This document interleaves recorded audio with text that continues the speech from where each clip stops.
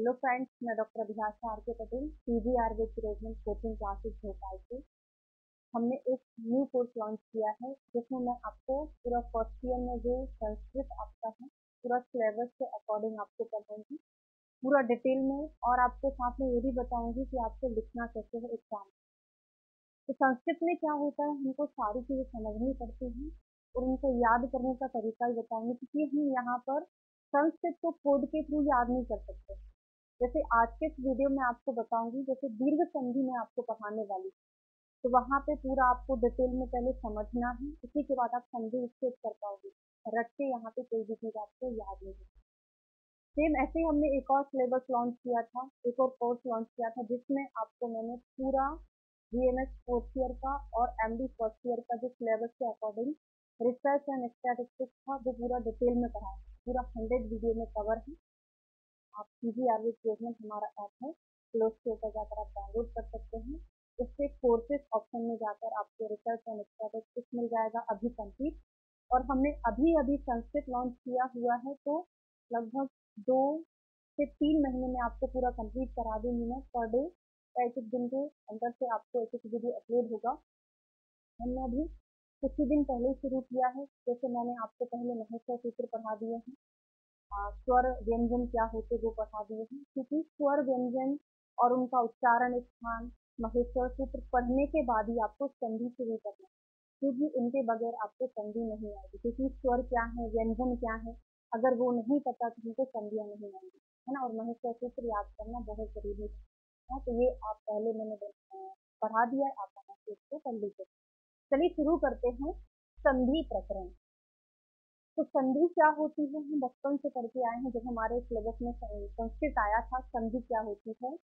तो वर्णों के मेल को संधि कहते हैं, है ना? दो वर्णों, दो शब्दों के मेल को संधि कहते हैं दो या दो से अधिक वर्णों के पास पास आने के परिणाम स्वरूप जो विकार उत्पन्न होता है, उसे संधि कहते हैं। शब्द नहीं, वर्ण होते हैं। जैसे वर्ण, दूसरा वर्ण आपस में मिलता है और एक नया विकार उत्पन्न करता है। विकार मतलब कोई परिवर्तित रूप ले लेता है इसको हम क्या बोलते हैं? संधि। बहुत सिंपल सा रटने की ज़रूरत ही नहीं है। दो वर्णों के दो या दो से अधिक वर्णों के मेल को संधि कहते हैं। ये किस प्रकार से हो सकता है ये? ये मेल किस प्रकार से हो सकता है? तो ये सात प्रकार, छह प्रकार से हो सकता है स्वर का स्वर के साथ मेल जिसको हम स्वर संधि, अभी आगे जाके मैं आपको आज स्वर संधि और उसमें दीर्घ संधि को डिटेल में पढ़ाने वाली स्वर का व्यंजन के साथ मेल, व्यंजन का स्वर के साथ में जिसको व्यंजन संधि, व्यंजन का व्यंजन से विसर्ग स्वर, विसर्ग संधि, विसर्ग व्यंजन, विसर्ग संधि, अभी आपको ये याद रखने की ज़रूरत ही नहीं है। जब मैं आपको पर्टिकुलर व्यंजन संधि पढ़ाऊँगी, वहाँ पे डिटेल बताऊँगी। अभी ओनली हमको क्या करना है? स्वर संधि। ठीक है तो संधि के भेद कितने प्रकार के होते हैं तो आप आराम से लिख सकते हैं संधि मुख्यतः तीन प्रकार की होती है आपको एक फ्लो चार्ट बनाना देखो, यहाँ पर हम ऑब्जेक्टिव टाइप से नहीं पढ़ रहे हैं। आपको मैं साथ साथ ये भी बताऊँगी कि आपको लिखना कैसे है। तो आप एक फ्लो चार्ट बनाएँगे कि संधि के भेद, है ना, वहाँ पे लिखेंगे स्वर संधि, व्यंजन संधि विसर्ग संधि, और इसके साथ ही आप यहाँ पर एक चीज़ ऐसा और लिख सकते हैं, स्वर संधि के कितने आस्टाइज होते हैं, उनका नाम लिखना व्यंजन संधि का विसर्ग संधि का। कुछ एग्जामिनर आपको देखकर भी आपको नंबर दे देते है ना? कुछ तरीके से आपको लिखना भी तो संधियाँ हम क्या क्या पढ़ेंगे? स्वर संधि व्यंजन संधि विसर्ग संधि। स्वर संधि को हम क्या बोलते हैं? अच संधि भी बोलते हैं। अब आप बोलोगे, मैडम, ये अच क्या होता है? तो महेश्वर सूत्र में पढ़ना है ना? अच में पूरे स्वर आते हैं। आ से लेकर क्या तक। आई, ऊना रीले का है ना? ऐसे करके पूरा महेश्वर सूत्र आ से शुरुआत होती है। चातक से जो सारी चीज़ें आती वो स्वर के अंदर आता है, ठीक है? व्यंजन संधि को हम हल संधि भी बोलते हैं। हल क्यों बोलते हैं? क्योंकि महेश्वर चित्र में जो नीचे हा से आता है ना तो हा से लेके जो जो लाइन है, फिर नीचे जो ला आता है तो हा से लेके ला के बीच में जितने भी वर्ण है, वो सब व्यंजन संधि के अंतर आते हैं और एक विसर्ग संधि तो आज की क्लास में हम स्वर संधि डिटेल में पढ़ेंगे और उनमें से केवल एक संधि से विस्तार पूर्वक पढ़ने वाले हैं। तो स्वर संधि क्या होती है? परिभाषा क्या स्वर मतलब क्या है? जैसे आ, छोटा आ, बड़ा आ, छोटी ई, बड़ी ई, ऐसे करके जो पूरे स्वर हमारे होते हैं। तो ये स्वर वाले चैप्टर में आप देखना, मैंने पढ़ाया है। तो यहाँ पे स्वर के साथ स्वर का मेल, वहाँ पे स्वर संधि होगी। स्वर के साथ अगर व्यंजन है, व्यंजन के साथ व्यंजन है तो व्यंजन संधि होगी। लेकिन स्वर संधि में दोनों चीज़ें, दोनों वर्ण क्या है? स्वर होना चाहिए। स्वर संधि में क्या है? स्वर के साथ स्वर का योग होने वाले विकार को हम स्वर संधि बोलते हैं। ठीक है? फॉर एग्ज़ाम्पल विद्यालय। विद्यालय। विद्यालय में कौन सी संधि है? तो इसको आप संधि स्टेट करके बताओगे तो आप क्या बताओगे? विद्या धन आलय। विद्या धन आलय। अब यह आपको कैसे पता चलेगा कि स्वर के साथ स्वर का युग है? आपको बोलोगे आ जो है, व्यंजन है आ जो है, स्वर है, ऐसा नहीं होता, है ना? यहाँ पे विद्या में धातु है, इसको अगर मैं बहुत विस्तार से लिखूँगी, धा और उसमें बड़ा आ जुड़ा हुआ है, फिर यहाँ पे आलय लिखा हुआ है, इसका मतलब क्या हो गया? यहाँ पे जो बड़ा आ था, उसके साथ बड़े आ का संयोग होकर ये क्या बन गया हमारा? विद्यालय बन गया। ठीक है? तो यहाँ पे स्वर के साथ स्वर का संयोग हुआ है तो यहाँ पर स्वर संधि अभी मुझे पता है, आपको बिल्कुल भी समझ में नहीं आया। जब हम डिटेल में संधियाँ पढ़ेंगे, बहुत अच्छे से आपको समझ में आएँगे। ठीक है? तो स्वर संधि, मुख्यतः वो सब जगह अलग अलग लिखा हुआ है कि कहीं पाँच प्रकार की संधियाँ होती हैं, स्वर संधि की बात करें। नॉर्मल संधि तो तीन ही प्रकार की है, स्वर, व्यंजन और विसर्ग। लेकिन स्वर संधि जो कहीं कहीं पाँच लिखा है, मैं आपको अनुवाद चंद्रिका, जो हमारी टेक्स्ट बुक है, उसी को बेस करके पढ़ा रही हूँ। वहाँ पर अनुवाद चंद्रिका में स्वर संधि के टाइप लिखे हैं तो आपको मैं आठ टाइप कर दूँगी ठीक है? तो हमको एक ऑथेंटिक बुक लेना है, उसी से पढ़ना है।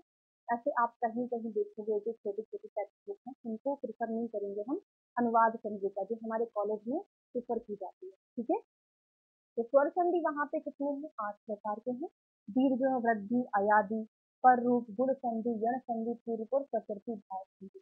इनमें से मुख्य रूप से जो इम्पोर्टेंट होती है एग्ज़ाम के लिए, वो दीर्घ संधि, गुण संधि, वृद्धि है, यण है और अयादि संधि। ये पाँच ही मुख्य रूप से तो मुख्य रूप से स्वर संधि पाँच होती है है ना? उसके अलावा ये तीन संधि से इतने ज़्यादा क्वेश्चन नहीं पूछे जाते।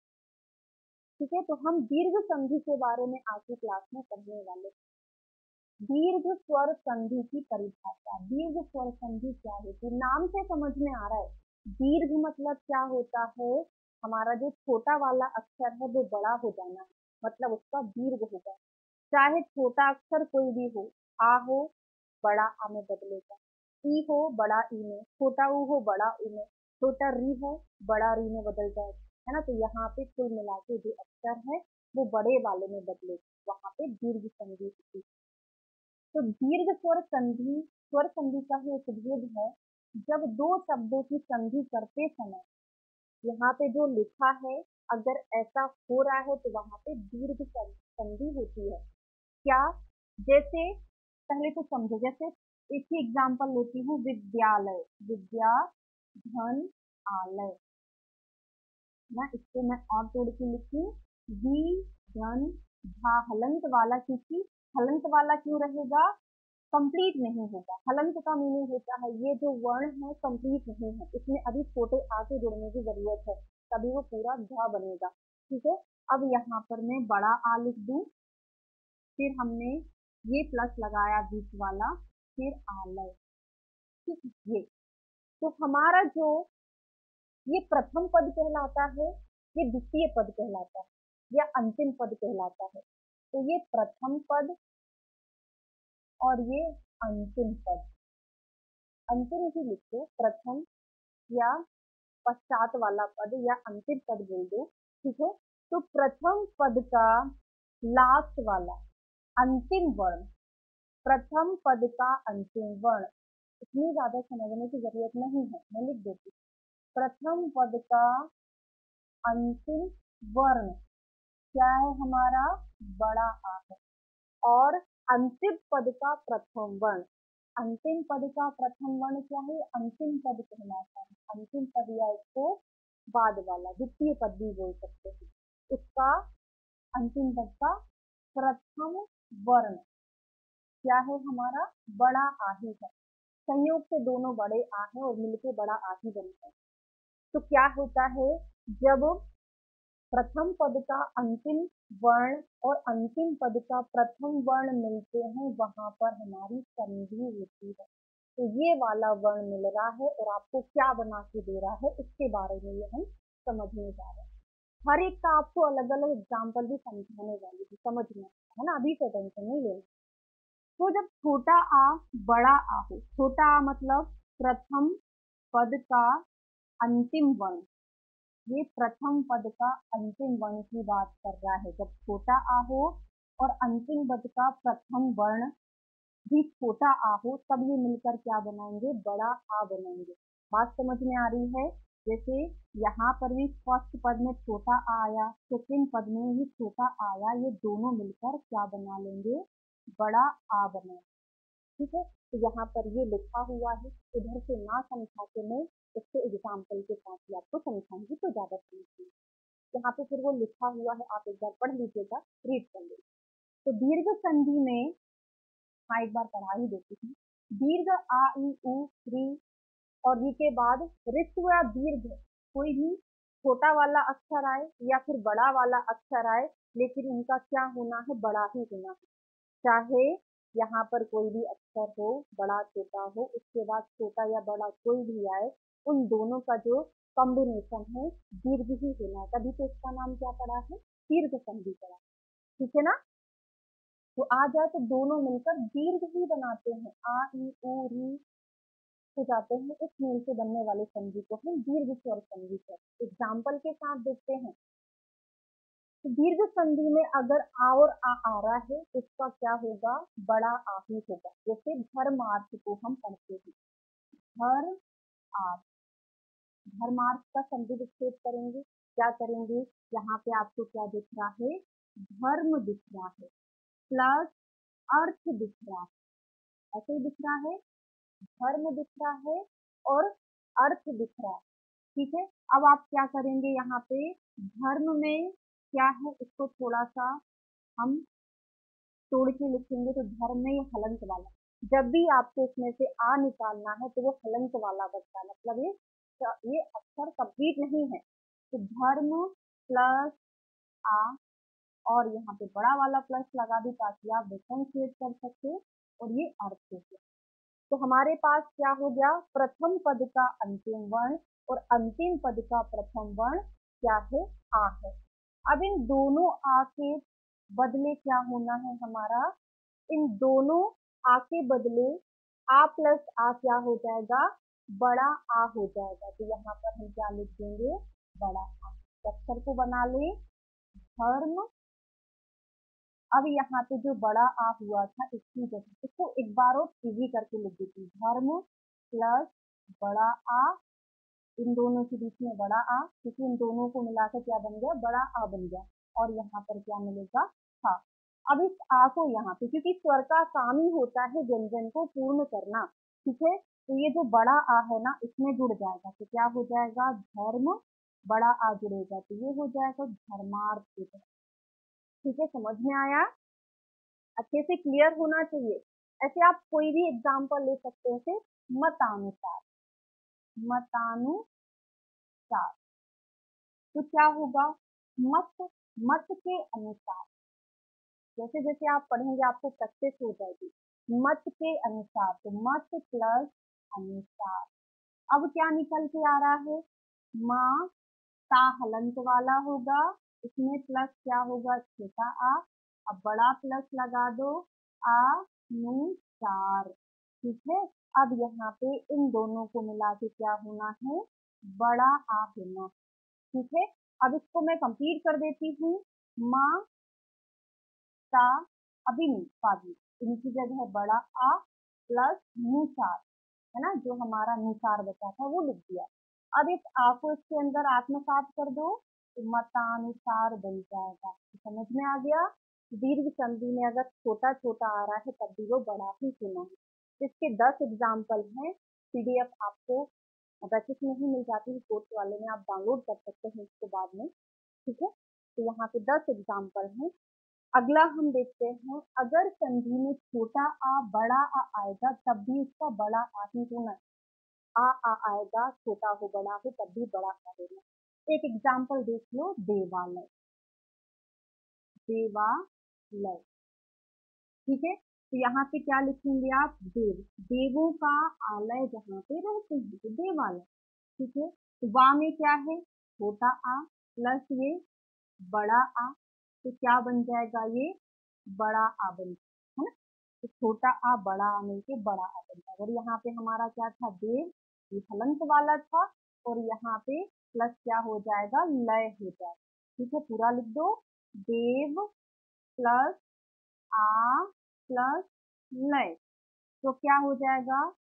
देवा लय ठीक है, आप एग्ज़ाम में लिखेंगे तो इसी तरीके से आप तोड़ तोड़ कर लिखेंगे। है ना? ऐसा नहीं कि डायरेक्ट आपने ऐसा लिख दिया, देव हलंत वाला बनाओगे, फिर वहाँ पे प्लस लगा के, आ लिखोगे तो प्लस लगा के, फिर यहाँ का आ, फिर ये लय हो जाएगा। इनकी जगह आपको एरो बना के आ बनाना। ताकि एग्जामिनर को चेक करने वाले को स्पष्ट लगे कि हाँ इसने ऐसे ऐसे संदिग्ध किया तो आपको अच्छे नंबर भी मिलेगा। और ऑब्जेक्टिव टाइम में तो बहुत अच्छा है। पढ़ के तुरंत समझ लिया कि आ आ का बड़ा आ ही तो यहाँ पे दीर्घ हो रहा है तो यहाँ पे दीर्घ संधि। ठीक है? तो ये वाला पॉइंट हमारा कंप्लीट हो गया। बहुत सारे एग्ज़ाम्पल हैं, आप देखिए लिख लेंगे। अब दीर्घ संधि में बड़ा आ, छोटा आ आएगा तो भी क्या होना है? बड़ा आ ही होना है। तो वही लिखा है सीमा धन अंक, यही तो समझा देती हूँ। तो यहाँ पे क्या है? सीमा में बड़ा आ है, ये छोटा आ है तो दोनों मिलके बड़ा आ तो सीमा अंक बना इसके भी यहाँ पे दस एग्ज़ाम्पल बड़ा आ बड़ा आ मिलके क्या बना रहे हैं? बड़ा आ ही बना रहे जैसे मैंने आपको शुरुआती में बताया था, विद्यालय। विद्यालय में, विद्या में अगर हम आ को हटा दे तो क्या हो जाएगा? आ, विद्या धन आलय पहले संधि विच्छेद कर दो, क्या है? विद्या धन आलय यहाँ पर हम विद्या प्राप्त करते हैं, ठीक है? अब इस विद्या में मैंने आ को अलग कर दिया तो क्या हो जाएगा? हलंत वाला हो जाएगा। फिर प्लस क्या हो जाएगा आपका? आलय तो ये आ प्लस लय कर दो तो क्या हो जाएगा ये। बड़ा आ बड़ा आ मिलकर बड़ा आ बना देंगे। तो ये विद्या लय हो ठीक है, इस आ को मैंने यहाँ जोड़ दिया और लय को भी जोड़ दिया। तो साथ में विद्यालय हो। गया ठीक है फिर महा आनंद है, महात्मा है। ठीक है, अगला है नेक्स्ट पढ़ते हैं हम। छोटा ई छोटा ई मिलकर बड़ा ई बनाएँगे। या फिर छोटा ई बड़ा ई हो, तब भी बड़ा ई बनाएँगे। या फिर बड़ा ई छोटा ई हो, तब भी बड़ा ई बनाएगा। या फिर बड़ा बड़ा ई हो, तब भी बड़ा ही बनेगा। इससे कोई फ़र्क नहीं पड़ता, छोटा छोटा मिलेगा कि छोटा, बड़ा मिलेगा। आपका अंत में निष्कर्ष क्या निकलेगा, बड़ा ई बनेगा। है ना? तो जैसे कविंद्र। कविंद्र। अब मुझे बताइए, हम जब कवि लिखते हैं तो कवि में छोटा वाला भी आता है कि बड़ा वाला भी आता है? सभी को पता है? कवि में क्या लिखते हैं? हम छोटा ई लिखते हैं। कवि प्लस क्या हो जाएगा? इंद्र हो जाएगा। क्योंकि द्रा को छोटा ही नहीं है, इंद्र होता है। ठीक है? अब यहाँ पे का वा को छोटा सा रहने दो, इसकी ई को निकाल दो। हमने क्या निकाल दिया? वा छलंत वाला हो गया, इसकी ई को हमने अलग कर दिया। फिर यहाँ पर क्या हो जाएगा? इंद्र हो जाएगा। ठीक है? अब इस ई का, इस ई का मेल होगा। तो क्या बनेगा? बड़ा ई बनेगा। अब यहाँ पे क्या होगा? हमारा का वा प्लस बड़ा ई प्लस आधा ना और द्रा। अब इस बड़ी ई की मात्रा को वा में लगाएँगे तो क्या बन जाएगा? का वा में बड़ी ई की मात्रा और आधा ना तो था एक कविंद्र बन जाए क्लियर हो गया?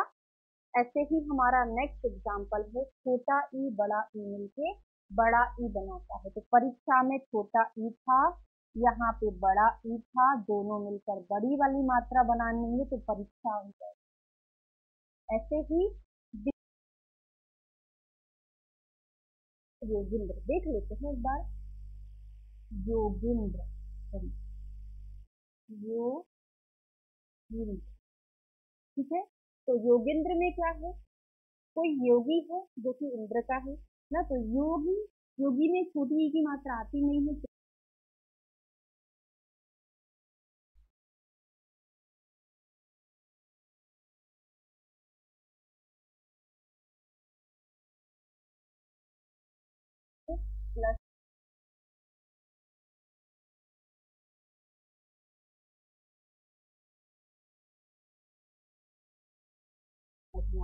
तो बड़ा ई छोटा ई मिला के क्या बनाएगा? बड़ा ई बनाएगा। तो यहाँ पे यो का हलंत वाला था, बड़ी की मात्रा लग जाएगी और घना हो जाएगा और ग्रह हो जाएगा। ठीक है तो ऐसे ही एग्ज़ाम्पल बड़ा ई बड़ा ई वाला है योगी जैसे मैंने आपको बोला, एक ट्रिक है। अब इसको भी याद करने का ट्रिक है कि दीर्घ संधि में क्या क्या आ रहा है? छोटा आ, बड़ा आ। छोटी ई, बड़ा ई, छोटा ऊ बड़ा ऊ और ऋषि वाली मात्रा। है ना, वहाँ पे सभी का दीर्घ होना कि दीर्घ संधि तो आपको थोड़ा दिमाग में फिट रहेगा कि दीर्घ संधि में मुझे क्या लिखना ठीक है? अब छोटा ऊ, बड़ा ऊ मिलकर क्या बनाएँगे? बड़ा ऊ ही बनाएँगे, ठीक है? तो विधुदय विधुदय तो विधु कैसे लिखते हैं हम विधु उ प्लस यहाँ पर क्या हो जाएगा? उदय हो जाएगा। तो यहाँ पे बी हा में हलन, छोटा उ प्लस छोटा उ अब इन दोनों उ की जगह क्या हो जाएगा? बड़ा उ हो जाएगा। अब यहाँ पे विध प्लस उ प्लस दय अब यहाँ पे बी में, हा में ऊ की मात्रा छोटा ऊ सॉरी बड़ा ऊ की मात्रा ऐसी जाएगी और यहाँ पे विधि विधा हो आप सारी चीज़ें निकाल सकते ऐसे ही छोटा ऊ, बड़ा ऊ हो, तब भी बड़ा हो सिंधु उर्मी छोटा ऊ था, बड़ा ऊ था, दोनों ने बड़ा ऊ बना लिया तो यहाँ पर मात्रा सिंधु ही कहेगा। ठीक है? हर एक पॉइंट को आपको क्लियर कर दिया है मैंने तो आप एक एक एग्ज़ाम्पल यहाँ से आराम से कर सकते हैं। ठीक है? अब लास्ट में देखते हैं ऋषि वाला। तो ऋषि में क्या होगा? तो एक ऋषि है, दूसरा ऋषि है वहाँ पे